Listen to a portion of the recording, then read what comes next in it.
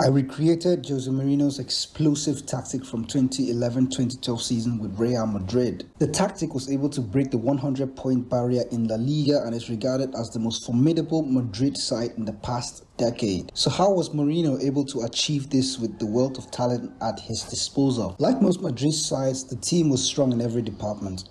Jose did start off imposing his team on the opposition, but this led to Real conceding chances on the break as they did not counter-press effectively high up the pitch. Jose Mourinho resorted to a slightly pragmatic approach that sacrificed the frontline press for a counter-attacking style of play. The team still pressed, but they didn't force it like most of the modern teams do in you know like in modern football now. Jose adopted a 4-2-3-1 system for the most of his matches, only reserving a 4-3-3 DM shape for games against the very best teams. And in these games they were more defensive. It was like a shutdown tactic. Huge credit to Football Made Simple for this tactical breakdown on Jose Mourinho's 2012 tactic you can give his channel a look in. He has amazing stuff on football philosophies, great content on all the tactical philosophies that elite managers use and all the managers use in modern football. Check out his content, you'll love it. By the way, also subscribe to the channel so you can get more football manager content like this. Now to the tactics. The goalkeeper Iker Casillas was probably one of the very best goalkeepers during his time. He played a vital role in how Real Madrid play out from the back. He was able to play short passes to the central defenders and also able to hit long balls over the top when the opportunity for the counter attack was on. The fullbacks, Marcelo and Arbeloa, were played very differently. Marcelo was able to cover the left flank on his own and take advantage of the space vacated by a certain number 7. He had help from one of the two midfielders, but we'll get to that soon. Arbeloa, on the other hand, was more reserved, played safe passes, and rarely got forward. The central defenders followed a pattern I respect in Football Manager. Sergio Ramos was a powerful centre back capable of carrying the ball into the midfield. His partner Pepe was a destroyer very capable of stopping opposition attackers, albeit with controversial means sometimes. And Pepe also had that defensive awareness to cover the space behind the defensive line. The midfield makes up the variation in how this tactic is built. You'd notice that I kept the back four consistent throughout all tactics or throughout all the variations. A constant in the central midfield was Xabi Alonso's role, the deep lying playmaker. He had the ability to cover the wide area, to cover the wide left area, sort of, and helping Marcelo out to try and close the space when Marcelo was venturing too far forward, but his primary duty was creating chances from deeper areas. He would receive the ball from Iker Casillas or Pepe or the defense and look to play through balls into the attacking players. Beside him was Sami Khedira, and he was more of the pressing style type ball winning midfielder and a slightly more defensive defensive midfielder of the two. He was just responsible for defending. In the second variant of the system, Khedira had more freedom to operate like a box-to-box midfielder. He would get forward and also add to the numbers in the final third and sometimes drift slightly wider to try and support the right winger. The front four need no prior introduction. They were phenomenal, they were scary and they were very effective. Angel Di Maria, even though left-footed, played often on the right hand side, stretching the width of the pitch as a winger. He gave room for the prime creator in the side, Mesut Ozil. Ozil was capable of drifting to the left and to the right of the mid of the attacking midfield zone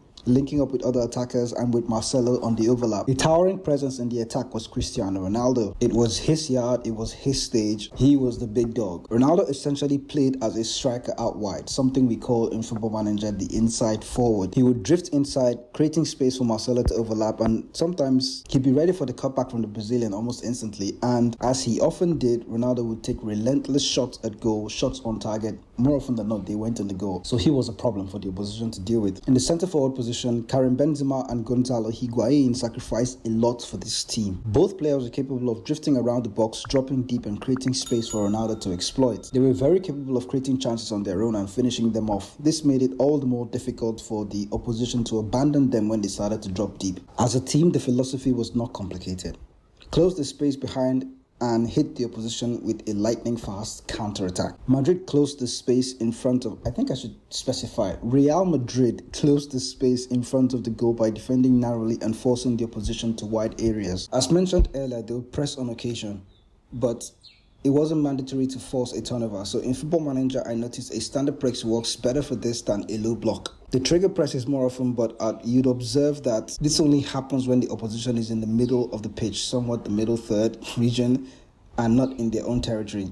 A perfect example is from this counter attack from earlier. We'd win the ball in our defensive third, and Vinicius is swift with this counter attack. Literally two to five seconds, the ball is in the net. I tweaked default set pieces a bit to encourage more counter attacks. You notice that I have two players up front from the defending corners, and DLP is that's the midfielder on the left hand side is on the edge of the box to try and start that counter attack. In attack, I didn't want to force the near post corner as I realized that the far post is just as good. So I have a mixed crossing setup with one player on the near post, one player on the far post, and one player inside the box one player also charging the goalkeeper. That's relative. I'm still unbeaten with this tactic in the league, although heavily complacent in the Champions League. I need to take that seriously, honestly. But altogether, it's an exciting tactic to play with on Football Manager 2023. You'd notice I spoke little about the mentality. That's because my mindset towards mentality has changed completely as I started to play more and more Football Manager. I'll talk about this shift in another video, so do subscribe to the channel so you can get notified when that video does come out. For this tactic, I opted for an attacking mentality. Why?